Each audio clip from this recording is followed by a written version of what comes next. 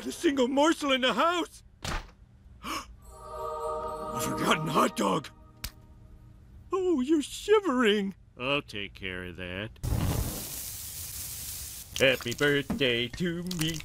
I can't wait to eat. Now to slit it down the middle. I'm not splitting it with you. I'm just teaching you how it's done. Mm, still frozen.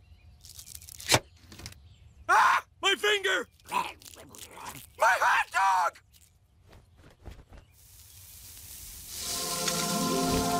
My finger! My poor, delicious finger.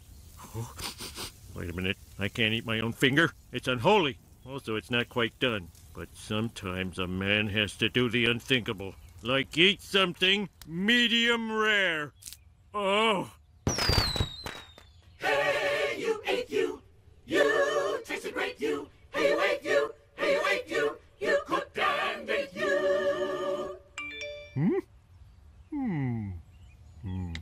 It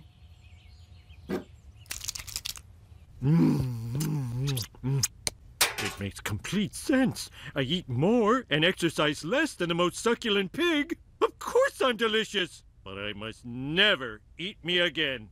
Never. On the other hand, is my other finger. And one thing I love is consistency. Hey there, Homer Aloner. In the absence of the missus, you want something delicious? Don't worry, I'll be back.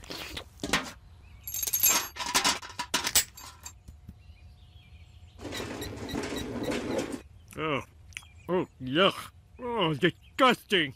Homer Simpson, you don't like steak anymore? Actually, I've become a bit of a megan. Do you have any spaghetti with my balls? Uh, meatballs? Megan, my balls. Are you eating forbidden fruit? Fruit? Ugh. Sorry, Flanders, but I've got more delicious meat in my little finger than you have on this whole picnic table. Speaking of which.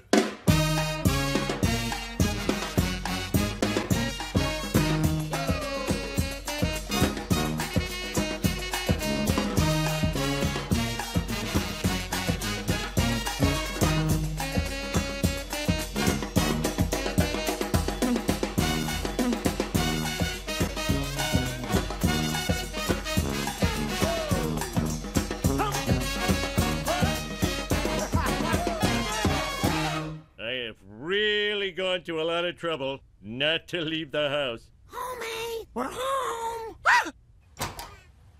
What's with the gloves? Uh, I was watching Breakfast at Tiffany's and I thought I could be more elegant.